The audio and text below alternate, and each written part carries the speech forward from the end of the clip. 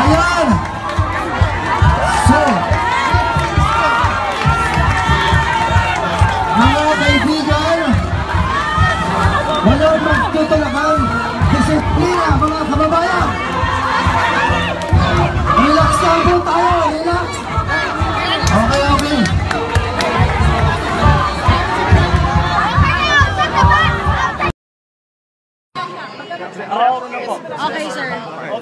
Okay, nabalitaan nga namin ng desisyon, ang naging desisyon ng Enbank na ngayong umaga. Ma'am, yung mic niyo po at, uh, ay uh, i-postpone ang desisyon at pababain ang deliberasyon hanggang November 8. Ito ay dahil ay kakarelease lang ng ni Justice Peralta at uh, ni, ni Justice Kagiwa yung kanilang opinion kahapon pa lang. At si Chief Justice Sereno ay bagong dating lang.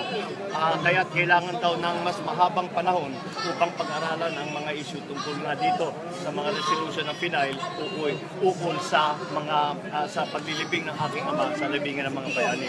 Eh, kahit papano, umaasa kami na sana na yung desisyon ay uh, darating ngayong araw na ito. Ngunit eh, eh, kung sa aking pananaw, habang tumatagal ang pag-aaral ng ating mga justice tungkol dito sa isyong ito, mas magiging maliwanag sa kanila na sa batas ay maliwanag na maliwanag na may karapatan ng aking ama na ilibing sa libingan ng mga bayani. Bukod pa ron, nakapag-antay na kami ng 23 taon. Siguro naman, ilang araw na lang ay kaya pa rin naming mag-antay. Kaya pabayaan natin ang ating mga justice na sila ay ah, pag-isipan, pag-aralan, pagdibatihan, pag-usapan ang mga issue tungkol dito. At ah, ako'y ah, nakakatiyak na ang punot dulo nito ay sila ay sila ay sasang-ayon na na dapat ilibing ang aking ama sa libingan ng mga beses. Thank you. Salamat. Maraming salamat. Thank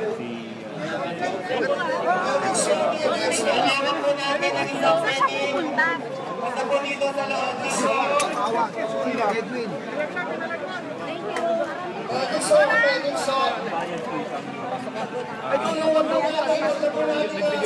Kuya, mic, mic, mic. Hindi, ang ano man ang support, hindi wala akong alam tungkol sa pag-campaign fund.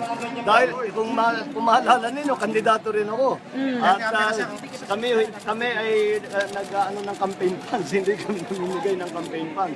Ah, ang kung ano man ang naitulong namin kandidat sa kandidatong Duterte nung nakaraang kampanya, ito ay sa pamamagitan ng pag-endorso, pagtulong, political support, ika nga. At nung siya'y naging Pangulo nga, ay patuloy ang aming suporta sa kanya. Walang utang yan, yan ay, sa, ayan ay naging bunga sa aming paniniwala na sa kanyang mga nais gawin sa pagpaganda ng Pilipinas sa pagbubuti ng kalagayan ng ating mga kababayan. Wala, so wala pong perang ibinigay ng pamilya. Wala, wala akong, wala akong alam tungkol dyan. Wala, siguro naman eh, siguro naman eh, may lahat yan eh, ah, malalaman natin. Eh, wala. Sir, it's also not right to say uh, kung ano man yung support na naibigay ninyo kung kung monetary man or yung parang moral support or yung pangangampanya ay kapalit na yung pagpayag niya na ipalibing po yung ama ninyo sa I, I, I, I do not think the president uh, is, uh, makes his judgments that way. I think the president makes his judgments, as I think you already know, based on law. He is very much a lawyer, and he, he very much bases his decisions and his positions on the law. And I think that is why he has, uh, he has uh, uh, been very clear about uh, the right of my father to be buried in the libingan ng mga Senator, So you're entering- na po ba tayo, Senator?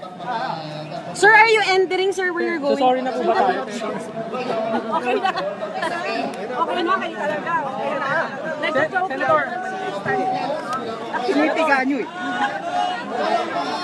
Senator, Sir, sorry po ba tayo? Sorry na po si Ma'am Amy. Ay, mag-sorry po ba tayo? Sorry sa okay na tayo, sir. Okay na, okay na. Okay na, okay na. Okay na. Okay na, okay na. Thank you, boss. Thank you,